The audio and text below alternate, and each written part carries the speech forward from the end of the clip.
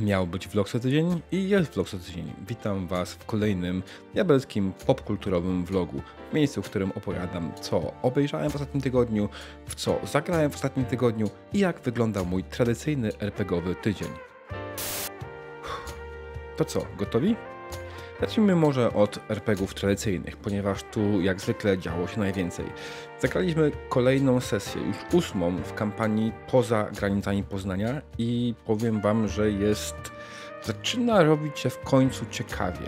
W sensie gracze powoli w końcu się wczuwają bardziej w swoje postacie, ten świat trochę bardziej wydaje mi się z nimi rezonuje, ale mam pewne problemy. Problem głównie polega na tym, że nie umiem zbyt dobrze zakomunikować graczom, jak jakie konsekwencje będą miały ich akcje. I tu z tego powodu mieliśmy taką sytuację, że gracze myśleli, że mogą spokojnie wyprowadzić, wynieść jakiegoś robota poza zasięg zasilania e, i nic mu się nie stanie, a ja powiedziałem wprost, że to raczej skończy się śmiercią według mnie.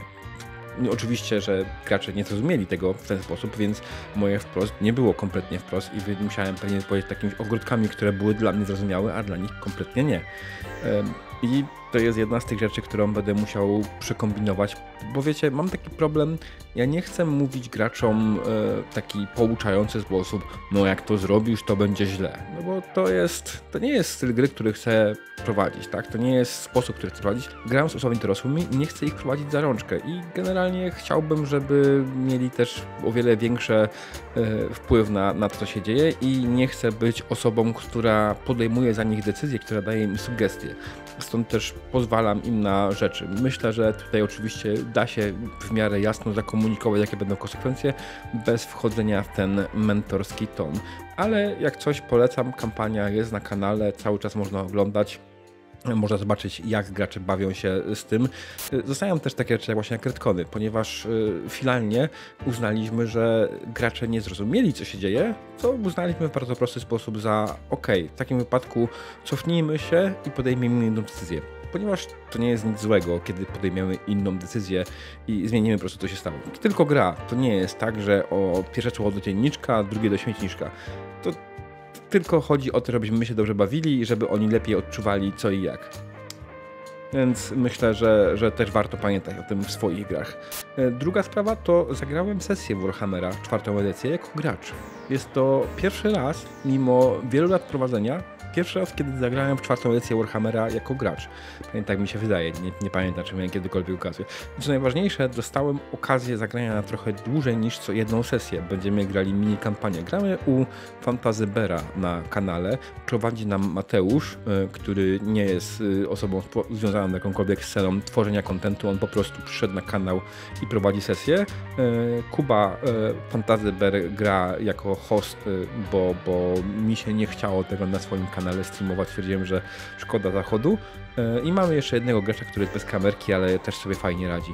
I powiem wam, że e, jest to ciekawe e, zderzenie, ponieważ jak ja przygotowuję jakieś mini kampanie albo one-shoty, wszystko bardziej pozwalam graczom skonstruować swoje postacie i potem wciągam ich jakoś w wydarzenia.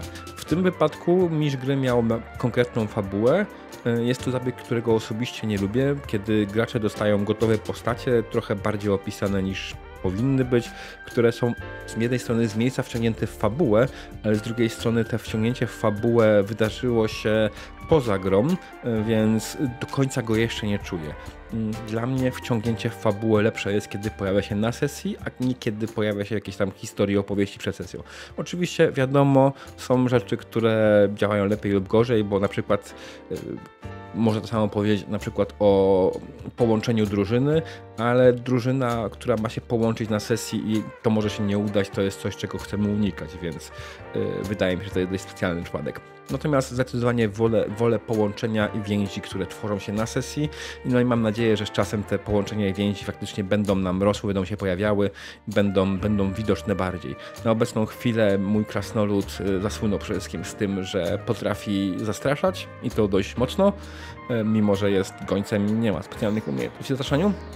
Ale z drugiej strony jest krasnoludem, więc ym, kto wie, prawda? Co jeszcze? E, w ostatnim tygodniu nie grałem zbyt wiele w komputerowe gry wideo. Mm, tak wyszło, że miałem trochę na głowie, że przyjechała teściowa, musiałem e, tutaj zrobić sporo rzeczy wokół domu związanych z tym faktem. Musiałem e, wystawić huśtawkę i finalnie skończyło się na tym, że pograłem tylko trochę w Nino Kuni 2 które jest moim wielkim prepem do nadchodzącej coraz większymi krokami kampanii Kroniki, które jeszcze nie do końca wiem jak się będą w pełni nazywały, ale Kroniki w Fabula Ultima, gdzie będziemy faktycznie grać w grę w tworzenie własnego państwa i tworzenie własnego królestwa i wielką politykę i tego typu sprawy i zobaczymy co z tego wyjdzie. A teraz na obecną chwilę Nino Kuni z jednej strony jest prześwietną grą, ma naprawdę fajnie, mimo że to jest gra, która ma już swoje lata, tak? To jest gra, która ma już swoje lata, ona jest dalej prześwietna, ma naprawdę piękną grafikę. E, tutaj zasługa tego jest to, że gra ma e, grafikę rysowaną przez studio Ghibli, e, bądź Gibr, jak to mówią Japończycy, chyba w ten sposób jakoś. I generalnie widać to z daleka, no i ta grafika się nie zestarzała kompletnie. System walki też nie jest jakoś specjalnie odstający od innych gier tego typu. Natomiast to, co najbardziej mnie denerwuje, i to jest też prawdopodobnie powód, że tutaj maczało w tym palce Studio Ghibli, otóż yy, postacie są strasznie infantylne.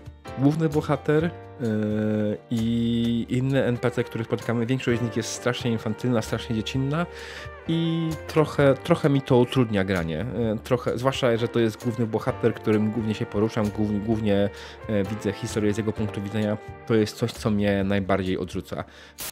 Przeskakując dalej, chińskie bajki. Zrobiłem sobie rewatch Tower of God żeby być gotowy na nowy sezon.